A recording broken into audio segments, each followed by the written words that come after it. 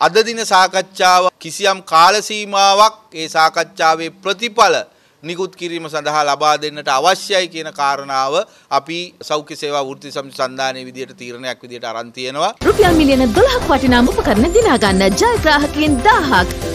Wing Dream Kitchen ඒ තීරණයට අනුව අපි සති 3ක කාලයක් රජයට සහ සෞඛ්‍ය අමාත්‍යාංශයට සහ මුදල් අමාත්‍යාංශයට ලබා දෙන්නට තීරණය කරලා හෙට උදෑසන 6:30ට ආරම්භ කරන්නට නියමිත වර්ජනය සති 3ක කාලයකට අත්හිටවන්න අපි තීරණය කළා තියෙනවා. මේ සති 3ක කාලයේ වර්ජනය අත්හිටවීමට තවත් ප්‍රධාන හේතුවක් ඉදිරියේදී එන්නේ උත්සව සමයක්. ඉදිරි සති 3ක කාලය තුල කිසිදු අවධානමක් නැතුව සෞඛ්‍ය සේවාව ලබා දීම සඳහා අපි කටයුතු කිරීමත් මේ වෙලාවේ අවධානයට ලක් කරලා තියෙනවා. කොහොම නමුත් මේ සති 3ක කාලය තුලත අපි එකඟ වෙච්ච යෝජනාවන් එකඟ වෙච්ච දීමනාවන් එකඟ වෙච්ච චක්‍රලේඛ නිකුත් කිරීමේ වගකීම සෞඛ්‍ය අමාත්‍යාංශයට සහ රජයට තියෙනවා.